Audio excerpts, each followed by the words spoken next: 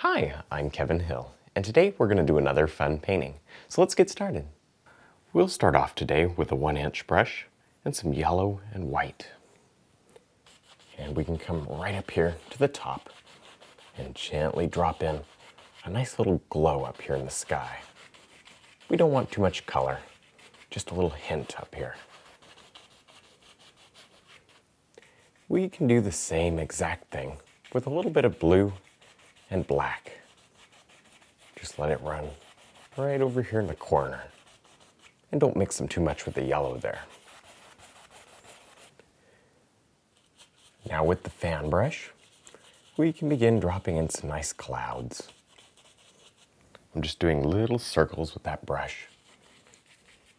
And you get all these nice little effects. And maybe it kind of comes down like this. Yeah, that'll look nice. And we'll be blending these clouds in just a second to make them nice and soft. Now with the top corner of a two inch brush, we can gently blend all these nice clouds together. Now look how I left all these pockets of light and dark in the clouds. I don't want to blend them so much that I lose all of that because those, that really makes the clouds look interesting. So just a nice, soft, gentle blend to remove the brush strokes is good enough. Don't go overboard because you can lose all these nice details very quickly. Now with a nice light gray on the knife, we can drop in a big mountain up here. Just scoop up a little paint and then rub in very, very firmly the shape of the mountain. There. Really work it hard into the canvas. Stain the canvas. We don't want much paint on here at all. And you could do this with a filbert brush. Both the filbert and the knife work very well. Might find it a little easier to use a brush. So whatever works for you, that's just perfect. Now with the knife, we can drop on some nice highlights. Just rub with the knife and very little paint to get all this nice texture here. With some blue and white on the knife, we can drop in some nice snow details right here. A little bit of snow that's just collecting here on the top of this mountain. There. You can blend it and work it in with the knife. And then come back with just a, a hint of highlight. Next, we'll tap a one inch brush through some black, green, little touch of yellow. And now that we're done with the mountain, we can begin creating some nice foreground. So I'll just tap. Maybe this is grass, very, very far away. maybe this grass, it kind of comes all the way across that mountain there. Set that brush down and load up a fan brush with the same color. we can do little tiny distant evergreens growing right up from that grass. We can also add in some nice detailed evergreens simply by pushing up on that fan brush.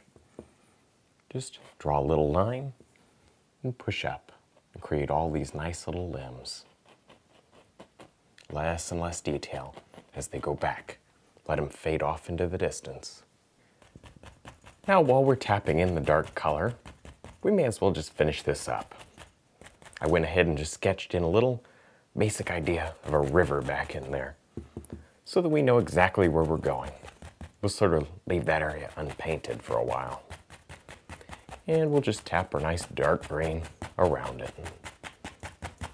Now I was looking at this and I think right up here, I think we're not done with our mountains yet. Let's throw one more in.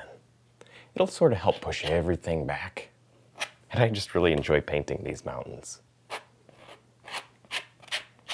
There, this one's nice and dark. Because it's just a little bit closer than this one. Now we can begin adding in some light on the grass here. So I'm just tapping with a one inch brush. Tap lightly and get all this nice texture. Don't push too hard. Before we go too far, I'll just brush on a little bit of highlight to this stream back here. There. Not too much, just a little. Now we can begin tapping in the rest of the grass. I'm just using two inch brush and tapping. Tap lightly so that you get a lot of nice grass textures. And then a little bit on this side too. With the one inch brush, we can tap on just a few extra details. Kind of clean up the banks of the river there and any rock or tree that you might want to kind of push back a little bit. Now the last thing we want to do is add on a few highlights to these trees. We really don't need too many, just here and there, to show some nice light sparkling off the limbs. There, leave a lot of that dark showing. That dark, it provides the contrast in the tree, keeps it from looking too flat.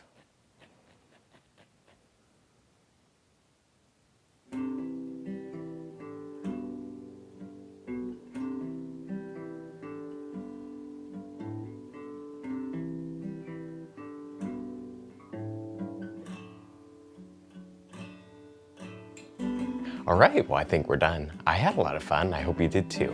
Don't forget to check out my website and also my instructional DVDs. And thanks for watching.